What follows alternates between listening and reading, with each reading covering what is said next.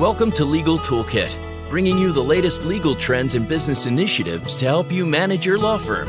With your host, Jared Correia. You're listening to Legal Talk Network. Hey, everybody. Welcome to another episode of the award winning Legal Toolkit podcast here on the Legal Talk Network. If you were looking for the best version of Scooby Doo, might I suggest Mystery Incorporated as a dark horse choice? It's really good. And after 40 years, I still can't pronounce horse correctly. If you're a returning listener, welcome back. If you're a first time listener, hopefully you'll become a long time listener. As always, I'm your show host, Jared Correia, and you should also know that I have Duke Silver's full discography on vinyl.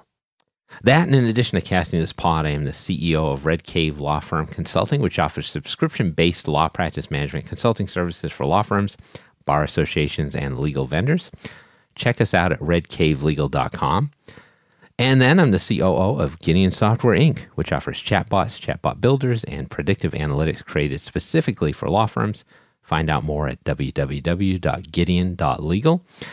Lastly, you can listen to my other other podcast, The Lobby List, a family travel show I host with my wife Jessica on iTunes. Subscribe, rate, and comment. But here on the Legal Toolkit, this podcast, we provide you twice each month with a new tool to add to your own legal toolkit so that your practices will become more and more like best practices. In this episode, we're going to talk about paid online advertising for law firms. But before I introduce today's guests, that's right, people, we have multiple guests today. Two guests. Let's take a moment to thank our sponsors, without whom none of this podcasting goodness would be possible. Abby Connect has delivered premium live receptionist and answering services to lawyers since 2006. You can try them out for free at abbyconnect.com. Scorpion crushes the standard for law firm online marketing with proven campaign strategies to get attorneys better cases from the internet. Partner with Scorpion to get an award winning website and ROI positive marketing programs today. Visit scorpionlegal.com forward slash podcast. Nexa, formerly known as Answer One, is a leading virtual receptionist and answering service provider for law firms. Learn more by giving them a call at 800 267 9371 or online at www.nexa.com. TimeSolv is the number one web based time and billing software for lawyers, providing solutions since 1999. TimeSolv provides the most comprehensive billing features for law firms big and small. www.timesolv.com. All right, as I said, we've got two guests today, and we're going to get into this thing hard like Jim Levenstein gets into an apple pie. My first guest is Jake Sanders of Consultwebs. Jake is a content custodian and a co host of the Lawsome podcast which in many respects is really quite awesome. You should listen to it. Jake worked for many years as a digital marketing coordinator and as a marketing director at a personal injury law firm before launching his own marketing consulting agency and then joining Consultwebs, where he is today. So, Jake, welcome to the big show, my friend. Thank you so much for having me today. I know this must be a personal life goal of yours, so I'm happy. I've achieved it. Well, it's it's hard when you peak this early, but It's I'm tough. I'm ready to embrace the downward slope after this. Excellent. My next guest, always on the upward slope, Paul Julius, also of Consultwebs, and also a co host of the Lawsome podcast. As marketing manager at Consultwebs, Paul has spent the last five years working with lawyers and law firms, and the last 10 years managing and optimizing AdWords, Bing, social, and other paid marketing campaigns. So it sounds like he's a perfect fit for this show topic. Paul, welcome to the show as well. Thank you. Thanks for having us here. All right, shall we jump in? I think we should jump in. Let's do it. Jake, I want to talk to you first. You're the Okay. only white guy I know who hangs out with Big Daddy Kane, and like that's a real thing. That's on your bio. Um, yeah. Can you talk a little bit about that, and then can you also tell me, because I feel like you should know, which member of New Edition is your favorite member of New Edition? Um, well, yeah. So so there's a he, Big Daddy Kane lets a couple white people hang out with him a Just a year. few. It's sort of like a Hunger Games, and um, you know, I just kind of got to the backpack first. Um, no, I lived in New York, and he was recording an album at a studio that I was rehearsing at. Um, and one of the engineers knew that I was a baritone saxophone player, and he said, "Do you want to come and play on the Kane album?" And I said, "Yeah." and I went to this studio in Brooklyn, and in the studio is Big Daddy Kane, and people don't know who Big Daddy Kane is. When I tell people I, I play with Big Daddy Kane, they're like, "Who?" They don't understand he's the. Benjamin Franklin of rap. I mean, he's the founding forefather of hip hop. So, but but that goes over like my Kurt Russell and Goldie Hawn jokes. I mean, it's getting to a point where people don't know the cool references, and I'm like, "Ah, I think I'm getting old. Um, Yeah, Kane's great. I always think I often think of that. Is it that people don't know the cool references, or am I not cool anymore? I'm I'd like to think the former is true. I think it's an old soul kind of mentality. There's somebody Yes. out there that's like, I get your Donna Reed references, but the, the point is with with that's even older. But Kane, we played the Essence Festival in 2015 with New Edition. no, really? Yes, yes. Oh, and amazing. so we're backstage, and everybody else who I don't know in New Edition is waiting for Bobby Brown. Because he's, he's got the drugs, right? Well, yeah, who knows if he's going to be here? So the whole time backstage, they're wondering, is Bobby going to show up? Is Bobby going to show up? And I, I, I asked Kane, I said, do you think Bobby Brown is going to show up? He's like, I don't know, man. You know, boom, out of nowhere, five minutes before they go on, Bobby Brown shows up in sweatpants, a, a full matching sweatsuit, goes on stage and kills it and comes back and just like disappears again. It, it, it was it was really bizarre. Um, so my favorite is Bobby because he's the only one I can remember, and he's the closest to an actual magician. Um, so that that that's the way I that's the way I I answer that one. Yeah, I feel I enjoy the Bobby Brown lifestyle, like sweats and then you knock it out of the park. That's how Just you do show up, Uh, but everybody's wondering: Are you going to do it? Is it going to happen? Will Yeah. it happen? Yeah. And then you just. I it was crazy when he went on stage. Everybody lost their minds um, because it's Bobby Brown. He's in a sweatsuit. It doesn't matter. Anyway. Yeah, Bobby Brown's great. I, I would have to say Bobby Brown as well, but I'm I'm kind of a low key Ralph Tresvant fan, actually. See? He's, he, has, See, he had a uh, pretty good solo album back in the day. but yeah, you know, it's it's it's just um, how could you pick? You know, when when one of them is so obviously amazing to look at, like you can't stop thinking about Bobby It's Brown. true. It's true. Somebody's got to be the dude, and Bobby Yep. Brown's the dude. That's right. Shall we pay some bills? What do you think, guys? Let's do it. Let's the pay sponsors. bills. so I know this is may be a surprise, but the sponsors probably don't want us to talk about New Jack Swing for an hour.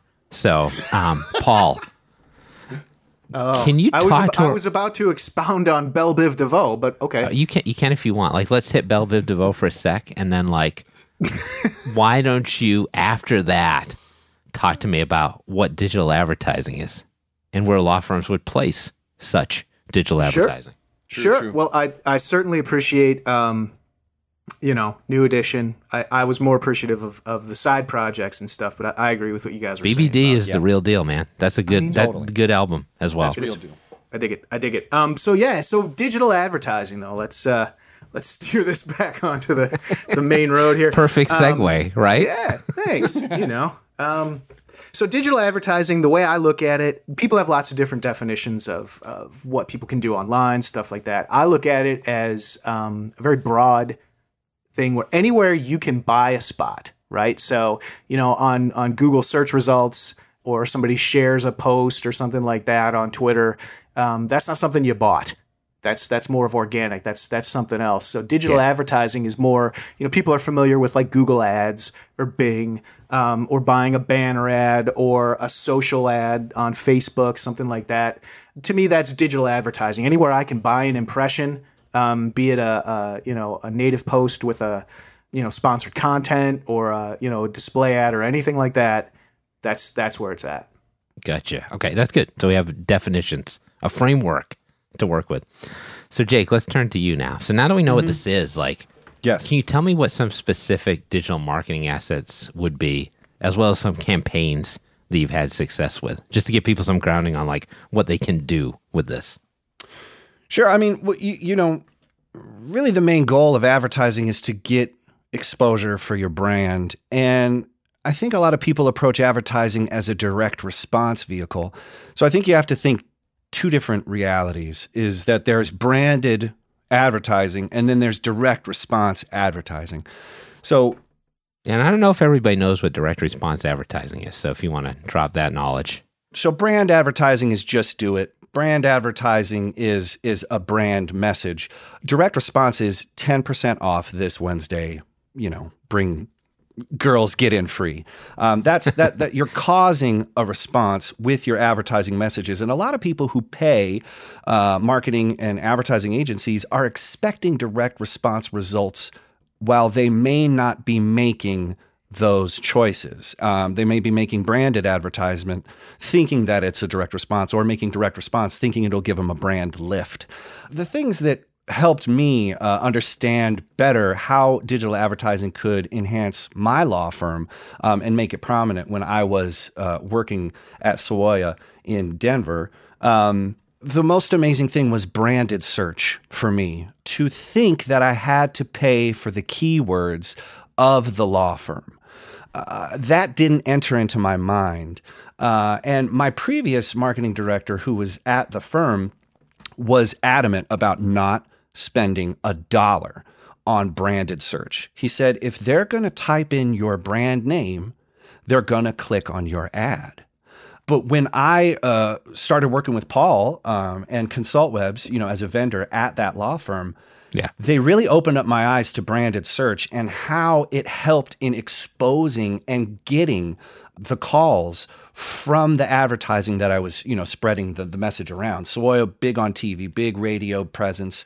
Um, yeah. So people didn't quite, maybe they were, you know, maybe they weren't as direct as they could have been in their search. So they type in a couple words with the name and we weren't paying for those, but they were looking for us. And when Paul and I kind of looked at our digital advertising and we switched, and I said, let's just try and pay for our branded search terms. And it was like night and day. Uh, the conversions mm. were strong. Those people knew who we were. They knew that they wanted to call us, but they just needed more information. We weren't paying to show up. When you pay to show up, and you pay to get your message out there, that's when the magic of advertisement happens. But usually people are underinvesting or expecting different results from campaigns that aren't aligned with the metrics of the, um, you know, the overall goal. Yeah, I'd say that's and that and that in the nutshell is why people call you the Big Daddy Kane of digital advertising. I've heard that. That's right. Actually, no, there's there's no half stepping when when when I come into the analytics.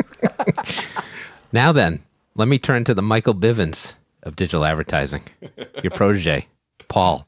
So, Paul, one tactic that's getting a lot of attention is called geofencing, particularly last year. So, what is that? And is targeting hospitals or other locations with this method effective? Full disclosure, I have no idea what any of that means. You guys wrote that question for me. So, please go easy on me. sure. It, it is a bit of a weird one. So, um, geofencing is a is a tactic that's primarily used with display campaigns. So you're going to be looking at uh, like banner ads, um, stuff like that. Yeah. And what you can do is you can put in GPS coordinates. So if you knew the GPS coordinates, a good example um, that I like to tell people is you know when you go to Target, if you have any coupon apps on your phone, it knows when you walk into Target um, and it starts hitting you with these ads for the different you know specials and stuff with the coupon. So geofencing is essentially using GPS coordinates to lay a, a, a perimeter around an area or a building um, or a particular part of the building, depending on how how um, you know precise you you want to get. And when you cross into that fence, it's going to start showing you ads um, on your mobile phone, uh, whether it's through an app or you know through a, a, search engine or something like that. So. Mm-hmm you know what we ran into, what what, what people tried, and I think Jake and I, you know, ran a bit of a, a philosophical uh, debate on this one. But you know, people were targeting, saying, "Hey, let's target the emergency room. Let's target the yeah. emergency room of this hospital with with ads for a personal injury lawyer." I had someone who pitched the idea of targeting funeral homes with with wrongful death advertising. So, uh, you know, those are and, and you can morbid, I mean, but it makes sense. I it it does, and it's you know I, I, think it gets a little bit into a bigger thing of you know what context do you want your firm uh, represented in, um, yeah. and kind of what context do you want to be serving ads with a particular message to people. So, so it sounds like you're pro geo fencing. It's just a matter of like how far you go with that. Well, I think it's I think it's a business decision. Honestly, I mean, you know, Jake and, and Jake, I'll you know jump in here because I know we we've had some back and forth on this, but the uh, you know it's it, it's a business decision. Uh, as a marketer, I look at all this available data and and these options and these targeting methods, and um, I'm thrilled.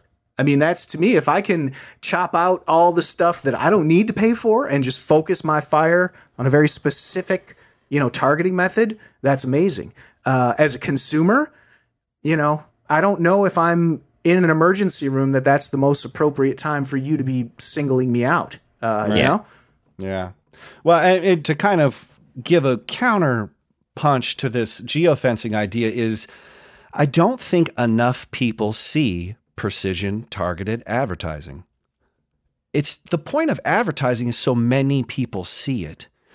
And that's how you grow prominence and that's how you grow your brand. Geofencing sort of takes this idea that it's better to take an advertising message to a single person when in reality, advertising in a practice is sort of signaling. It's costly signaling.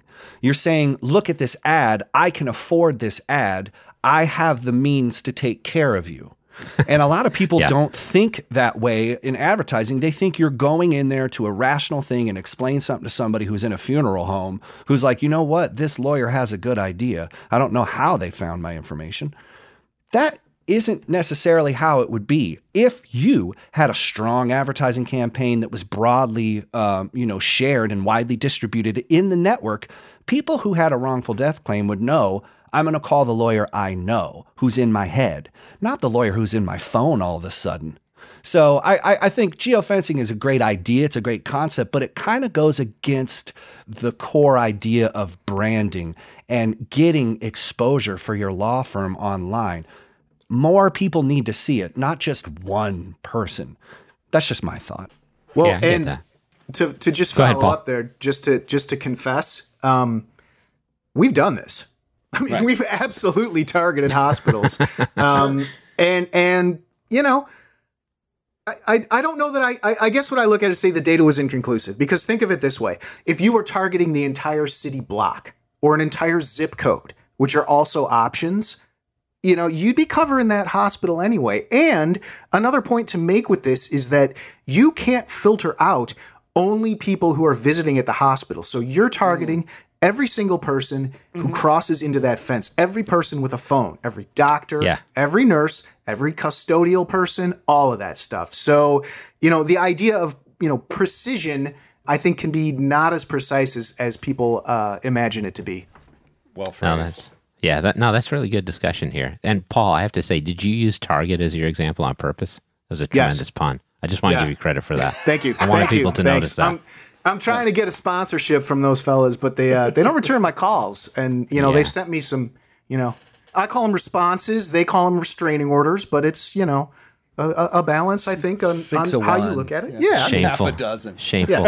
The mom and pop stores will be responding to you, guaranteed. you get you guys got to hit up the Ben Franklin five and ten cent store. Oh. That's that should be where you go. oh my god. Yeah. I used to buy all my smoke bombs from them when I was a kid. There you go. Yeah, it was coming back. Um, I think this is a good place to take a break. Why not? Right. All right. first half of this podcast, total fire. But it's time for our first break, as I said. Here now are some of the things you should buy. If you're missing calls, appointments, and potential clients, it's time to work with Nexa Professional. More than just an answering service, Nexa's virtual receptionists are available 24 7 to schedule appointments, qualify leads, respond to emails, integrate with your firm's software, and much, much more. Nexa ensures your clients have the experience they deserve. Give them a call at 800 267 9371 or visit them at nexa.com forward slash podcast for a very special offer. Imagine billing day being the happiest day of the month instead of the day you dread. Nobody went to law school because they love drafting invoices for clients. At TimeSolv, our attorneys save on average over 8 hours a month in billing work. That means more billable time and turning billing day into happy day. Learn more about how to get to your time and billing happy place at timesolv.com. That's www.timesolv, the e.com. Remember, that's timesolv.com.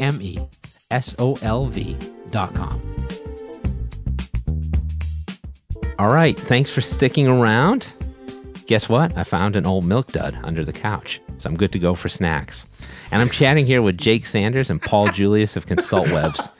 We're here talking about paid online advertising for lawyers. You guys have totally had milk duds from under the couch before. I know. it. Totally. Yeah. Um, all right, guys, let's turn to social media, right? Everybody talks about social media, mostly because people are annoyed about their like uncle or grandmother or uh, ex old person in their life tweeting about Donald Trump. But is social media worth advertising on for law firms who want to market formally to legal consumers? Jake, why don't you hit this one?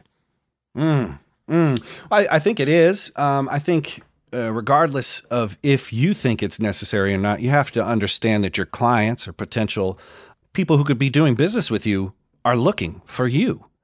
Social media is a great way to sort of describe yourself outside of your resumes, outside of the tightly controlled narratives that we kind of, uh, you know, keep around our business personas. I think a lot of people are wondering what good social media looks like for a lawyer, and I'm That's a good question. Yeah. I mean that that really is the is the end result. What does good social media look like? I think it looks like regular social media. I think it's you being a person and not you selling. Um, I I have a mentality around the way I use uh, social media, and it's the rule of threes. Um, is that you can spend a third of your time talking about the industry of which you are in, um, a third of your time talking about the vertical, the specific vertical, and your disciplines, and then a third of your time selling. Tell people that you represent these clients. Tell them that you do that. Don't do that all the time. Talk about thought leadership, but don't forget selling. Uh, talk about being normal and and you know sharing your your day to day stuff, but don't forget about the clean kind of thought leadership that you have to be cognizant of. So I, I think if you can keep the the rule of three in mind, just know that you have to be natural and know that people are searching for you. It creates prominence in the search rankings. People will know you. They'll have something to go against. Um, but a lot of lawyers, I think, are, are, are wondering what the ethical considerations are. I don't want to be seen doing this. A lot of lawyers too That's on true, Twitter. It's it's crickets when real legal stuff hits the fans. You guys don't talk. It's really interesting because you are fence sitters naturally. Well, I'm not going to say he's guilty or innocent or or it's good or bad or I'm not saying it was comparative negligence. I'm not saying that it was this or that. You don't say anything. So social media is scared, like a scared world, because something you could say could get you dragged or grieved, or you know the bar association could see this. So my thoughts: keep it light, keep it lively, keep it real, be a person. And those are the lawyers that people are going to be looking for, not some automaton that's selling all the time, or somebody who's constantly quoting Tony Robbins, or somebody who's doing, you know, this or that. You know, it's got to be a blend of, of all those things. Jared, you're a good example. Mike Whelan Oh, is a good example. Mitch Jackson is a good example. Yep. You know, I wish I knew more about Mitch. I mean, he he's he's really sold on that social stuff, but he has a strong presence, and I know it drives business for him. So, like Paul was saying earlier, this is all business decisions. But at the end of the day, if you want to stand out and be different, which is digital advertising, which is advertising, which is marketing, social media is fantastic. So don't be scared and take a look at some lawyers who are being humans, awesome, smart, funny. Uh, that, that's that's that's what that's what the world needs. Yeah, Mitch Jackson's got a great backstory. Shout out to Mitch. You guys should talk Love to him about that at some point. Yeah. Oh, I'm yeah, love. Yeah. So, Paul, let's turn to you now. Um, so, this I think is an interesting question. So, I think the question we have here is: Does lawyer advertising end up elevating awareness of a few law firms at the expense of the legal community at large? So, first, do you believe that? And if you don't believe that, how can that perception be changed? Wow. Uh, I know. well, thanks take a breath. me the easy questions here. yeah, yeah. No, I only the easy Um, ones for you. I, well, no social I- I media think- questions for you, sir. Um, does advertising end up elevating the awareness of law firms at the expense of the legal community at large? I don't think so. I think it's very dependent, and that's something that you know I know people hate when they say, "Well, it depends," but it does depend. I think it depends on on on what you're doing and what you're saying. I think it's important too to keep in mind that a lot of the the the people who are most critical, um, and Jake and I have looked at uh, uh, one we refer to a lot is the Florida Bar Association survey, um, where they polled all their members and asked them about this, and they said that one of the biggest things that they feel that's giving the legal profession at large a bad reputation is advertising. Um, so I think there's this very kind of internal criticism, but at the same time, you have to realize people aren't making these commercials for other lawyers. They're making it for people, and and, and to go Yes. even a little bit deeper, they're making it for people who would see something on TV and follow up on that. You know, they're not not somebody who would you know have a, a, a connection in their social group or in their network or something like that that could refer them to a lawyer. So um, they're trying to reach a very specific demographic. Another thing to keep in mind too is that um, you know mass media like that is a very comparatively cheap way to reach a large amount of people. So I, I think some of that is sort of a, a you know peer criticism, I guess I would say. Um, I, I don't think it necessarily cheapens the industry um, or anything like that. I think there's some maybe misunderstandings in, in general that may be perpetuated by some of this advertising. Um, a- and I think a way to do that is to focus a little more on how people help um, instead of you know I've I've seen some commercials that uh, absolutely play on you know we're gonna get you you know interact get a check or you know stuff like that um, and that's memorable. I mean I remembered it now, um, but that's not necessarily. I've seen some other ads where the attorney or the the the group in general is very personable. Uh, they're very local focused. They're very focused on your rights and the things that they can do to help you out. Uh, you know, I know Jake, Jake and I have talked about, you know, how I think lawyers can forget how isolated people can be, particularly when they, and how intimidating it can be to have an insurance company, you know, telling you this is going to happen and you do this or that. Um, and you know, if if you reach out to somebody who says, "I'll fight for you," and I have a, a history of fighting and winning for people just like you, I, I think that's a valid thing to say. Yeah, yeah, man. I mean, well, and and you think, well, why? So it was eighty-one percent of lawyers polled think that attorney advertising negatively impacts the public's perception of the legal profession. Overwhelmingly, lawyers just believe this. Oddly enough, asking lawyers who advertise themselves, do they think lawyer advertisements have a negative impact? 85% of them agreed. Yeah, which is Why- crazy. Why, why? What is it? What What is it that's that's preventing us from either understanding these business decisions or trying to correct uh, the way the public perceives this profession? In regards to bar associations doing something to help uh, the way lawyers are perceived in public, there was a case in Wisconsin where the bar association was going to use the dues to create a whole bunch of TV commercials about lawyers in Wisconsin helping make the you know the world a better place you know doing veteran outreach stuff with social security um, and a lawyer sued them and said no way you're not taking my money and making these TV commercials that make it seem like we're good because I get to tell you what you do with my money. And and Sounds about right. and you're like, okay, you're right, you're right. Okay, they, are your dues. But isn't it interesting that when faced with an opportunity to create advertisement that corrects the public's perception of a negative profession, they shoot it down with a lawsuit?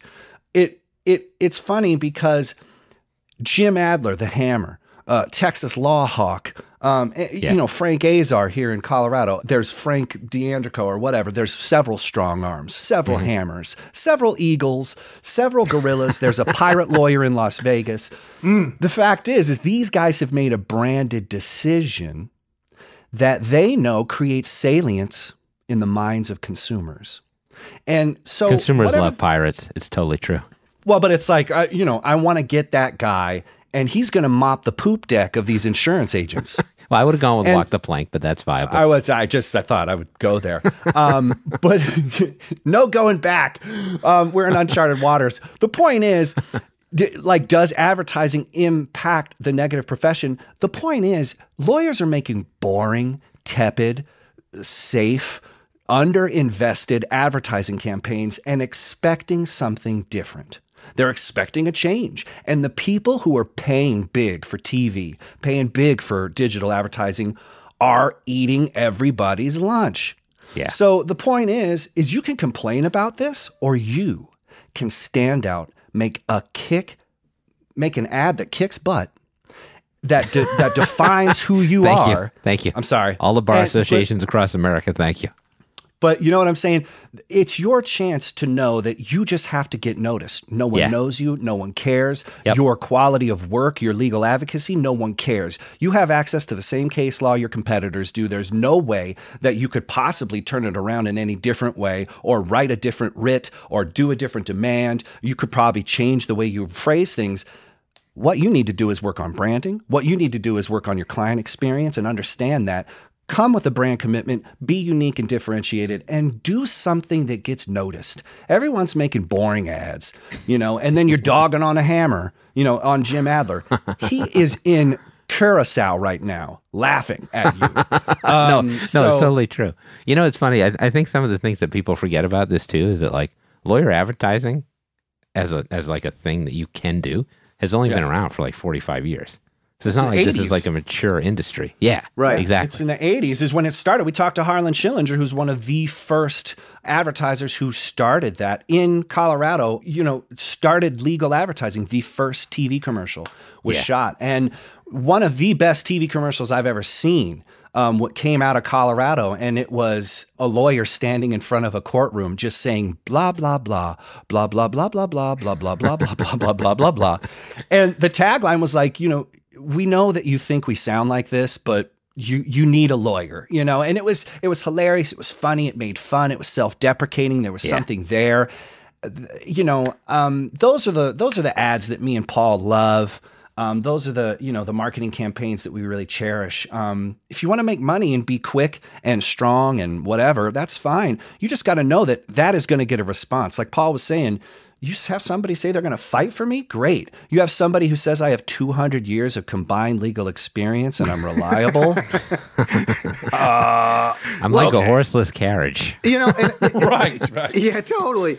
I mean, something that I think you know Jake and I really key in on a lot um, is that there's a book called "Hey Whipple, Squeeze This," um, and it, it's all about classic advertising and stuff. And and the point is, you know, that Charmin commercial, Mr. Whipple, was wildly, wildly successful. I mean, Yeah. for years. Oh, people and the hate thing it. is, people hated him. I Hate mean, Mr. so Whipple. absolutely hated him. Screw that guy. Yep. Totally. But it Squeeze worked. that Charmin. Yep. But it worked, yeah. All right, that's a good note to end on. Let's take Okay. a break in segment two. Everybody, in case you forgot, maybe you have, I'm talking with Jake Sanders and Paul Julius of Consultwebs. Let's take another break before we come back again. In the meantime, listen to some more words from our sponsors. Your legal work requires your full attention. So, how can you build lasting relationships with new or existing clients while juggling your caseload? Try Abby Connect, the friendly, highly trained, and motivated live receptionists who are well known for providing consistent quality customer service and support to law firms just like yours. Every connection matters. So call Abby Connect today at 833 Abby Wow to get started with your free 14 day trial and $95 off your first bill. Do you feel like your marketing efforts aren't getting you the high value cases your firm deserves? For over 15 years, Scorpion has helped thousands of law firms just like yours to attract new cases and to grow their practices. As a Google Premier Partner and winner of Google's Platform Innovator Award, Scorpion has the right resources and technology to aggressively market your law firm and to generate better cases from the internet. For more information, visit scorpionlegal.com forward slash podcast today. All right, thanks for coming back, everybody. Guess what? We're at the third part of the podcast. I know that the third part of a trilogy is often a mixed bag, but we're going to close this out like it was Back to the Future Part 3.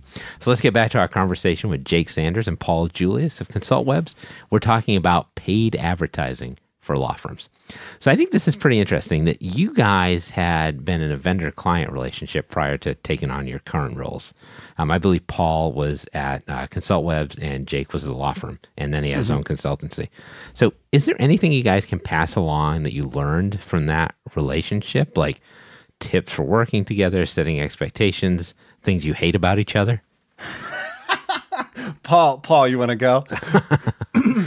I'm I'm hang on. I'm I'm on number 15 on this Yeah. list How of long things is I your hate. list? yeah, yeah. yeah. Um, no, I'm kidding.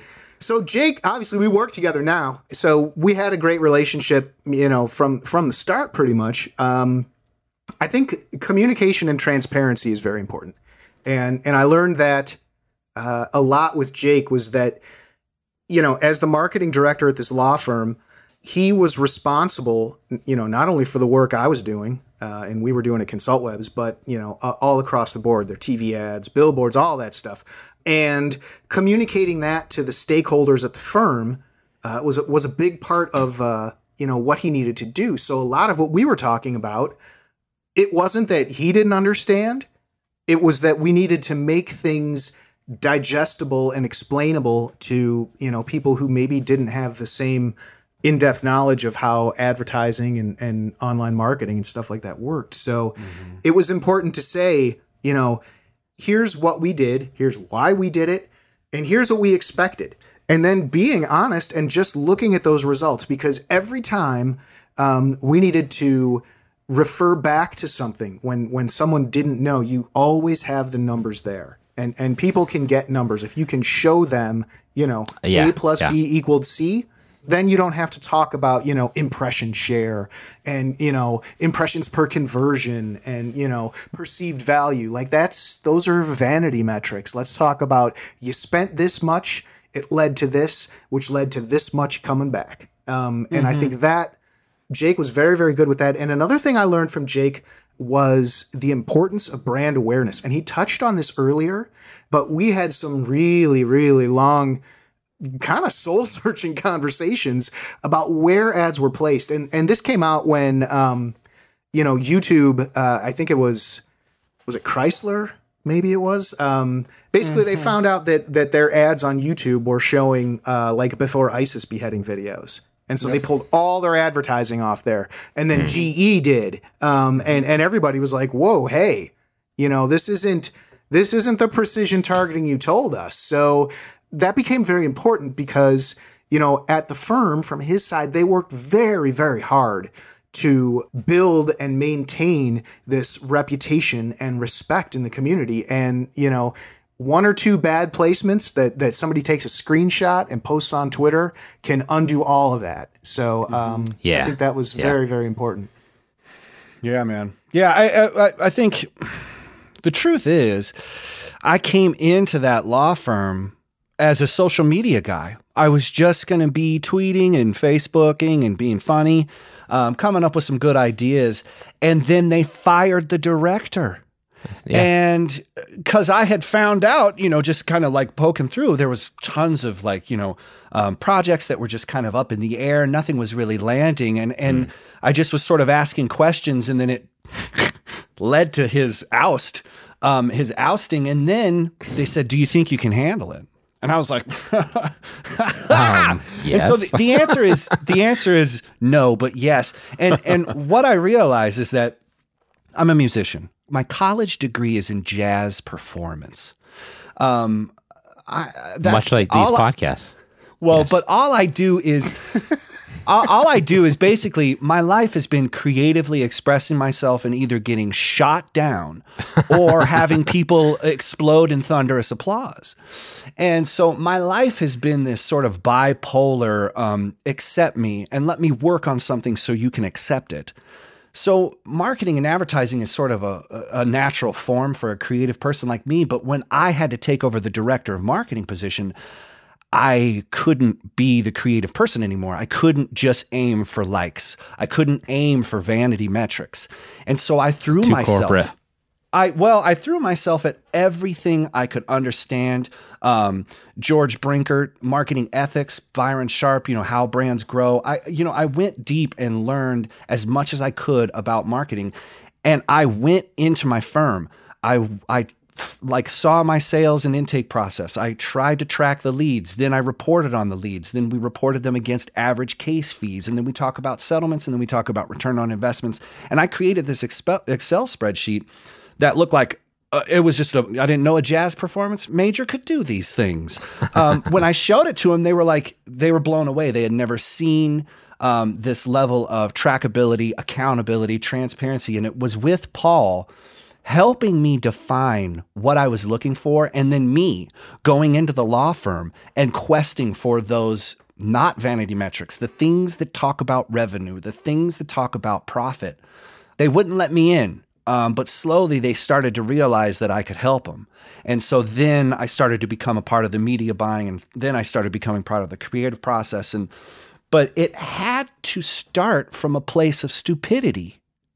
I couldn't have done any of that without knowing that I was dumb about marketing, knowing that I was dumb about finances and advertising and stuff.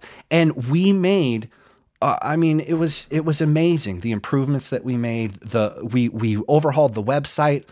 I mean, rankings were just through the roof. Um, campaigns were just rocking, you know, thousands of times at ROI percentage, and that's the truth. But it only happened when Paul and Jake came together. You can have a great vendor and a great leader, but if they don't come together, you know, you can have a great CRM or you can have a great Excel uh, document or whatever it is, case management system. But if there isn't a person running it and a person responsible on the other side for helping connect it, all your advertising and marketing things are going to be just dead in the water. And it's just going to be another dream that you had.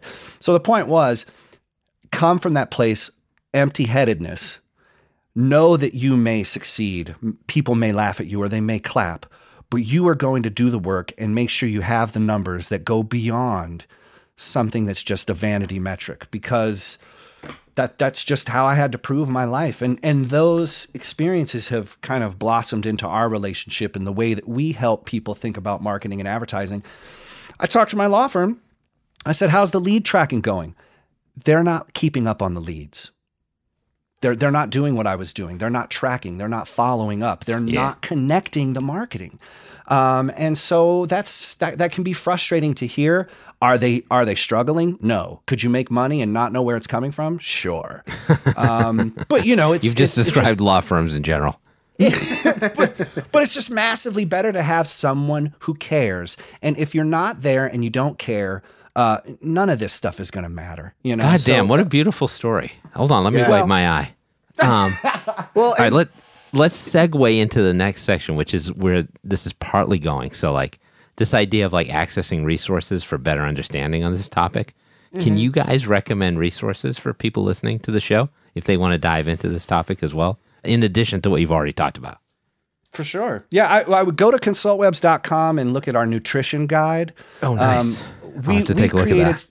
We've created something called the Legal Marketing Nutrition Guide, and it basically is a primer to help people understand two factors in regards to making your business more profitable. You have to grow your brand and you have to activate sales. So I think when I came into marketing, I was all about culture and messaging and just about brand stuff but I wasn't about sales. And then I went hard into sales, but I was neglecting the brand. So the whole idea is that through marketing science, Andrew Ehrenberg, Byron Sharp, people from uh, the uh, it's IPA. Um, it's a European think group that does advertising and marketing research. Hmm. They've studied consumer behaviors and they've figured out the science on how brands grow. I've taken all that and transmutated it into a marketing metaphor um, in the legal marketing nutrition guide. It's everything that I think of and believe in in regards to marketing. And it's right there. ConsultWebs uh, helped me make it with our coders. We, we designed it, we made it look beautiful. You can download your report to figure out if you're balancing in between growth and sales and how you can um, achieve that because that is a consolidation of all of the inspiration and books that I've read. Um, so I would suggest people go there. That sounds awesome. Paul, any additional suggestions? I, I got nothing, man. I'm just riding on Jake's coattails. no. You got something? Go ahead. No, I was just well, I was just going to throw out a couple things. I'm giving you the floor. The floor is yours. Okay, sorry. Sorry. Definitely go to consultwebs.com. but if you're looking to get a little bit deeper into specifics of digital advertising, perhaps some of the different methods, um, Google itself, Google Ads has a has a great course you can go through, yeah. get certified. It's a great place to start. Same thing with Bing.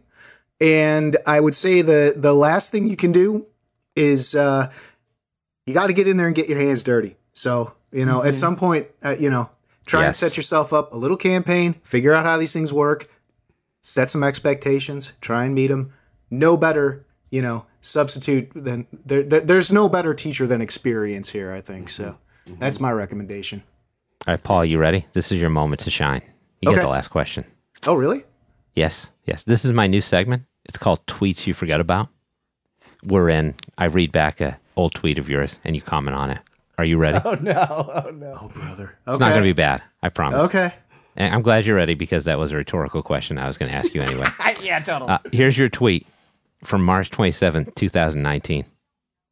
I still can't believe someone pitched the idea. Let's let 100 cats loose in IKEA and see what happens. And got it approved. I watched this video. The fact is that really a whole lot didn't happen. The cats kind of just loitered as cats would do. They didn't even build a single piece of furniture. So, Paul, my question for you is what would have happened if IKEA had released Ligers instead? Oh man. Um, well, you know that that Flug bookcase would have been built in about five seconds, man. Flug.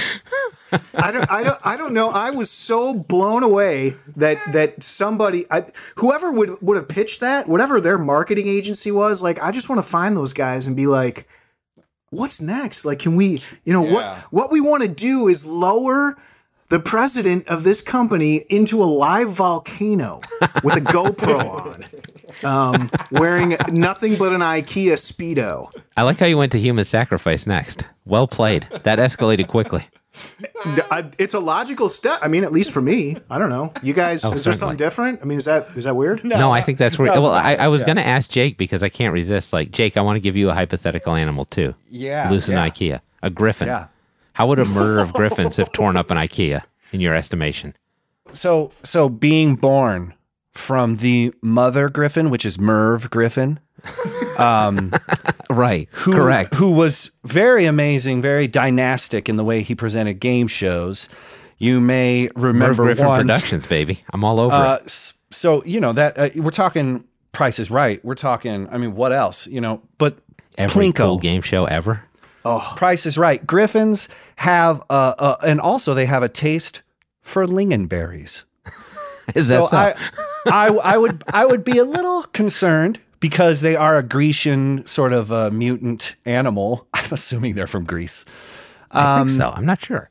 Lingonberry might upset their tum. Uh, could have some problems. Um, and Griffin cleanup is probably going to be your biggest problem there. It's going to be gnarly. Um, so I think that's the perfect segue to end the show. Um, That's how we try and end ours. good Griffin talk. We've reached the end of yet another episode of the Legal Toolkit podcast. This was the podcast about digital advertising for law firms, and we've been talking with Jake Sanders and Paul Julius of Consultwebs. Now, I'll be back on future shows with further insights into my soul, the soul of America, and the legal market. If you're feeling nostalgic for my dulcet tones, however, you can check out our entire show archive anytime you want at LegalTalkNetwork.com. So thanks again to my guests today, Jake Sanders and Paul Julius of Consultwebs for making their appearances today. All right, Jake, Paul, can you tell everyone how they can find out more about Consultwebs and the Lawsome podcast as well? Go ahead, Paul. Uh, Consultwebs can be found on the internet at www.consultwebs.com. Lawsome Podcast can be found, it's thelawsomepodcast.com, or you can look us up on iTunes, Android, Stitcher, anywhere. Anywhere, anywhere that you get this stuff. would all be on the internet. It's a beautiful is. thing. It's there. It was. Uh, we made a we made a choice to go. It was it was that or uh, smoke signals, and we decided that internet. There was a future in internet. Would have been real disappointing if we ended this thing and you guys didn't have a website. So thank God for that. Um, thanks again to Jake Sanders and Paul Julius of Consultwebs. Finally, thanks to you out there, all of you out there, for listening. This has been the Legal Toolkit podcast where it's always on like Donkey Kong.